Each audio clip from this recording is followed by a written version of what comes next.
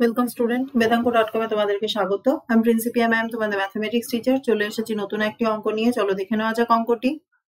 এক্সের সাপেক্ষে অন্তর করো, যে নির্ণয় করো log cosec X plus cot X তাহলে এখানে প্রথমেই যেটা দেওয়া আছে, সেটিকে আমরা ধরে নিলাম ওয়াই বলে।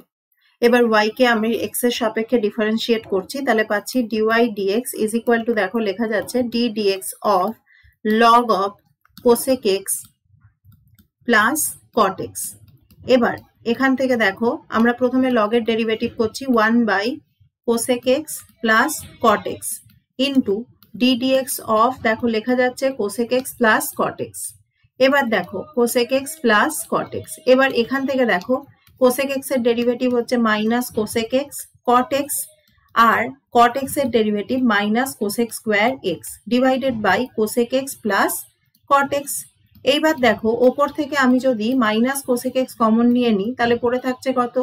মাইনাস কোসেক এক্স কমন নিয়ে নিলে দেখো পড়ে থাকছে cosec X plus cot X আর নিচে দেখো পড়ে থাকছে cosec X plus cot X এইবার এই দুটোকে দেখো আমরা ক্যান্সেল করলে পড়ে থাকছে মাইনাস কোসেক এক্স তাহলে ডিওয়াই ডিএক্স হয়ে গেল মাইনাস কোসেক এক্স এটি তাহলে আমার নির্ণয় অন্তর্কলজের মান।